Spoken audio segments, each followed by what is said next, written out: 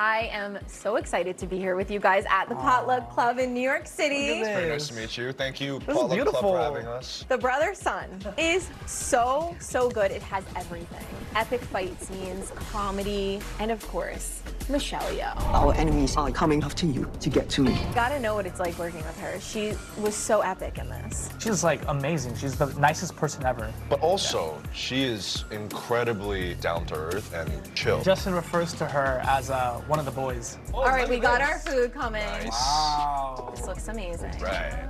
Thank you so much. Thank you. Thank you. Oh, Cheers. sorry. All right. Okay. The you have to try Okay, some of okay. this shrimp. It's Okay. actually Wait. stunning. I'm gonna use this. That's almost sorry. almost cheesy. Which brother are you? The killer with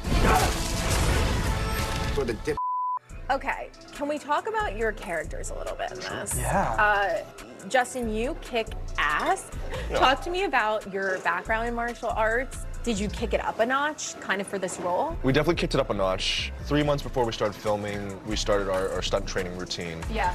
Original John Wick 1 team member whipped me into shape. You and Keanu. You got Keanu. I did, and you know, I think we have to we have to shout out that franchise because it's definitely inspired a lot of the action of our show.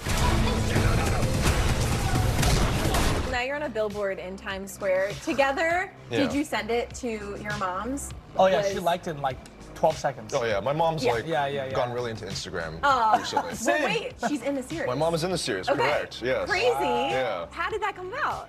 The casting director Jenny Ju said that we needed some people to play Ma- Michelle's friends, her mahjong partners. Yeah. And I was like, oh, let's just have my mom audition. So we did like a little crash course in acting. Wait. And then a week later, they let me know I got to be the one that called her. Okay. Tell her she got the job.